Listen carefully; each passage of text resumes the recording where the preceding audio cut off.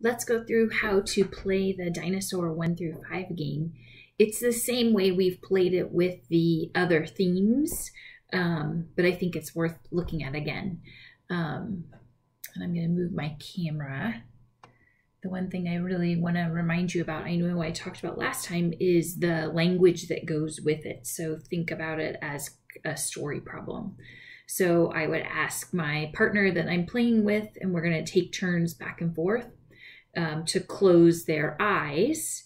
And then I would place some dinosaurs in the volcano and some outside the volcano.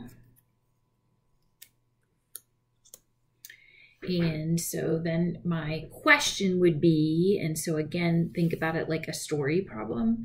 Um, the question is, how many dinosaurs are roaming outside the volcano? And it's always going to be in five. And I encourage students to use their fingers.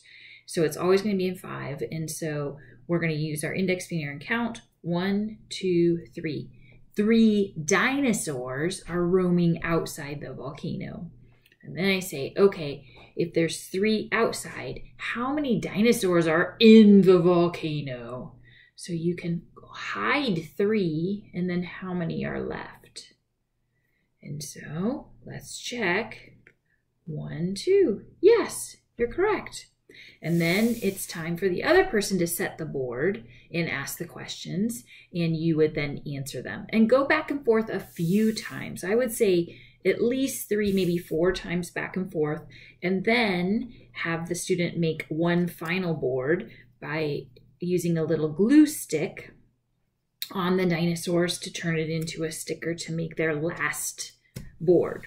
And then you can go back and, you know, if you've been keeping these, you can go back and do all of them um, just as they're set.